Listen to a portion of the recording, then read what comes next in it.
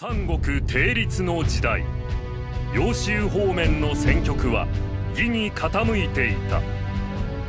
呉は義軍の前にたびたび敗れ義に降伏する者も相次いだ。呉の孫権は局面を打開すべく波陽軍大主周法に一計を授ける。彼に偽りの投降をさせ義軍を五両に誘い込まんとしたのである。慶は見事当たり義の都督早急は石庭に進軍。孫権は満を持して早急軍の殲滅に乗り出した。兄孫作に遅刻の際を称えられた孫権が見せた戦の際。王者の風格が漂い始めた孫権のそばに今日も蓮氏は立っていた。誰よりも大切な人の成長を誰よりも近くで感じながら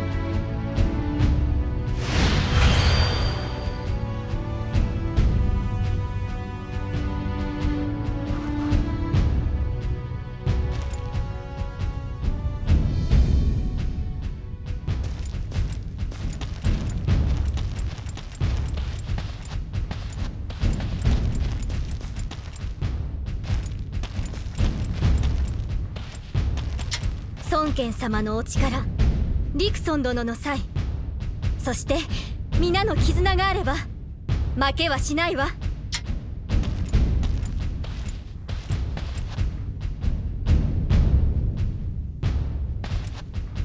義軍は州法の投稿を信じきっている。裏をかかぬ手はあるまい。そこでリクソンに奇襲を仕掛けてもらう。蓮氏長を頼んでもいいだろうか。はい。お任せください。孫権様。だが無理だけはしないでくれ。お前にもしものことがあっては。大丈夫ですよ。孫権様こそどうぞご無事で。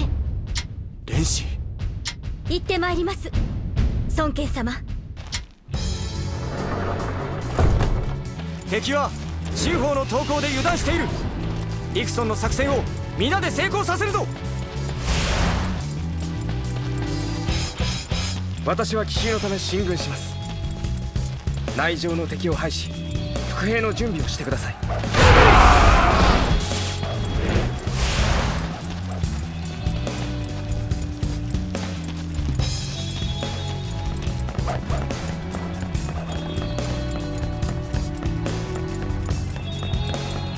おお前ら何者だ？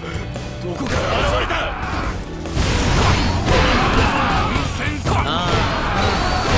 って歩兵を止め静かにしてもらわないとね。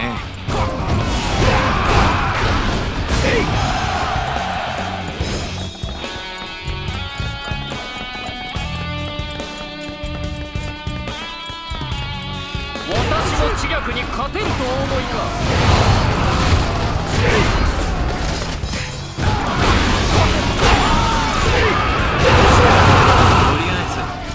は大丈夫みたいだ。あとは奇襲でも手伝ったら？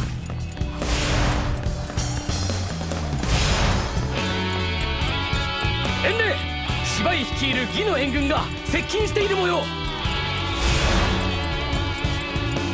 あなたはもしや？これは長領殿にお伝えした方が良いですね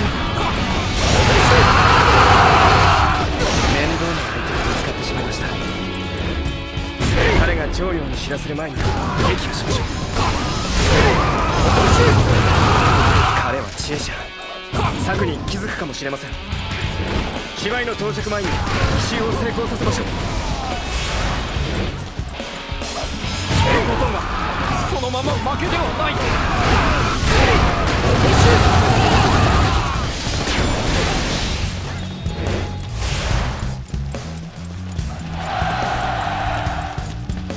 あと少しで関門に到着します。中にいる修法が上げてくれる算段です。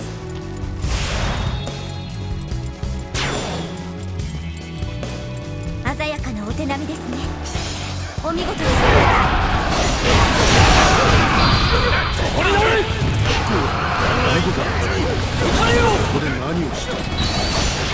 彼らがいては修法は動けません。関門前の敵を撃破してしまう。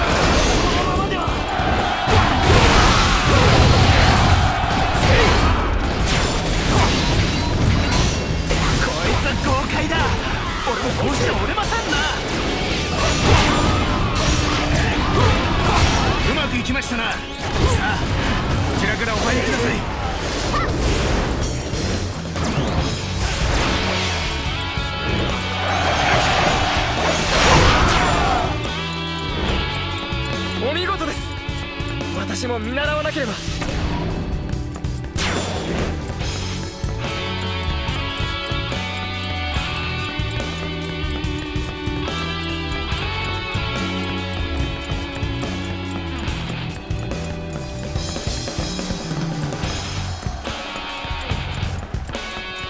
覚悟してください。五の精鋭の奇襲。掘り直れ。受けていただきます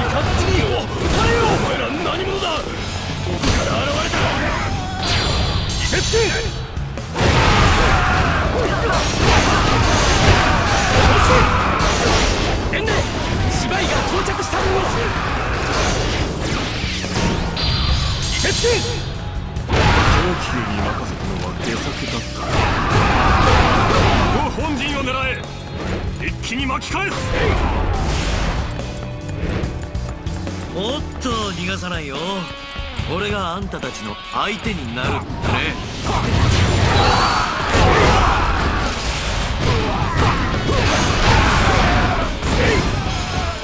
進め!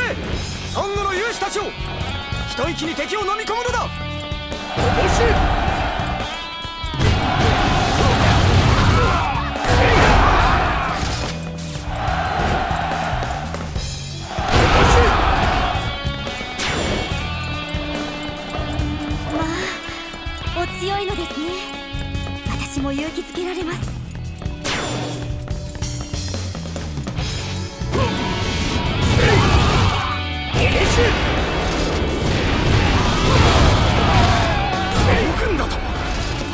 違うではないか。ええ？州法はどこへ行った？中宝殿の投稿は偽り固い絆で結ばれた語から裏切り者は出ないわ。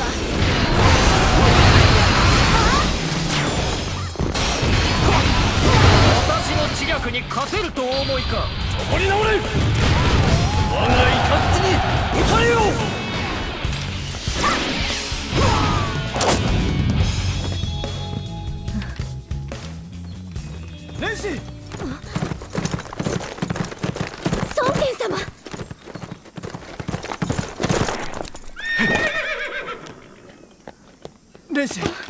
はないか。私は大丈夫です。すまぬ。孫権様？決着がついたとはいえ総大将たるお方がこのような前線にいらしては困ります。ししかし孫権様のお気持ちはとても嬉しく思います。ですが。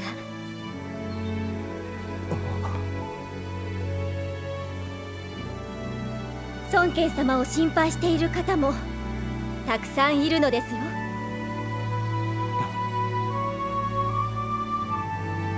そうだな。お前にも。皆にも。いらぬ心配をかけた。その許してくれ。